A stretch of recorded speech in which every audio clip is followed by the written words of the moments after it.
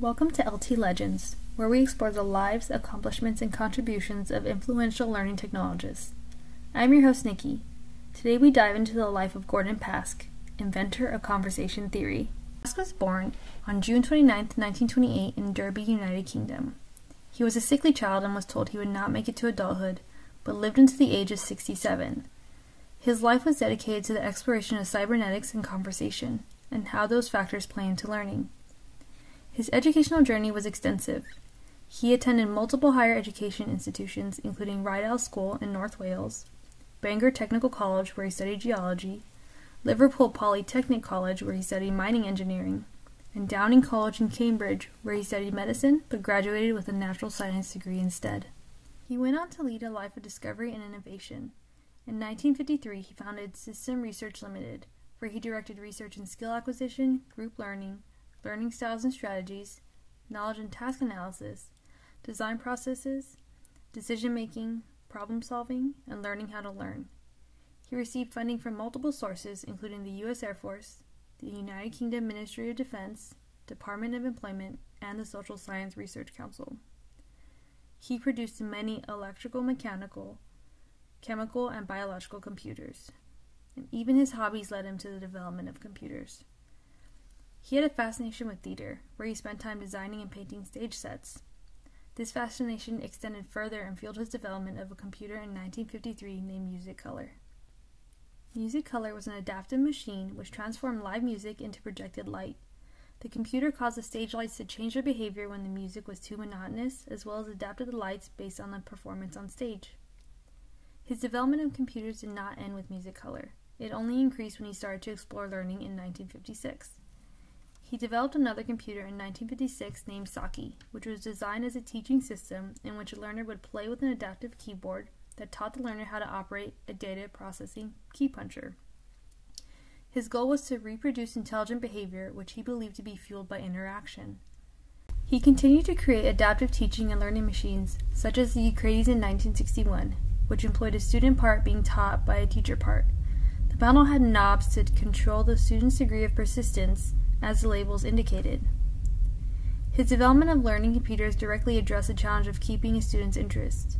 This challenge was common amongst automated teaching. He approached building teaching machines that could create dynamic models based on the probability of how a particular person would approach a problem. His machines would not force a learner to perform in a particular way and were not correction focused, but rather the machines provided the opportunity to maximize growth and allow learners to build their own preferred methods. He asserted that, by adapting the task on the basis of a dynamic prob- probabilistic model of the operator, his learning machines could teach in a way that responded to students' non stationary individual characteristics and hold their interests. Many of his inventions were used as a fundamental basis for other technologies. Furthermore, and most notably, he authored the conversation theory, the conversation theory asserted that learning occurs through conversations that happen both verbally and non-verbally. He believed that learning also occurred within our environment, how we act, react, and think. He felt that the way we sense our surroundings contribute to how we build knowledge and make meaning, which also include the quote unquote conversations we have with information we read, see, and interact with. One very important aspect of conversation theory is the idea of teachback, in which one person teaches another what they know and have learned. Through this conversation, both members learn more about the topic and develop a shared understanding and meaning of that topic. Conversation theory, in its essence, says that we learn what we learn through the interactions we construct. Pask's work continued, and he built other learning machines like CAST in 1972, which was a system that learned about a student's preferred learning strategy through observation and engagement in a dialogue about their learning. CAST also allowed learners to work through complex content through a tutorial-based environment. He went on to invent Thought Sticker in 1974, which helped students map their ideas and suggested novel combinations and perspectives. Though Pask's influence is not explicitly known, many of his thoughts, assertions, and work in technology and computers can be seen mirrored in the growth of technology in the last 50 years and his contributions continue to be assimilated into psychology, educational technology, cybernetics, and systems science, which constitutes him as an LT legend. I want to thank you for sticking around to learn a little bit more about Gordon Pask.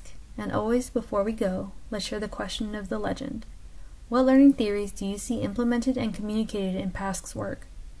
Please share your thoughts on my Gordon Pask blog on the LT Legends podcast website. Until next time, this is Nikki. Good night.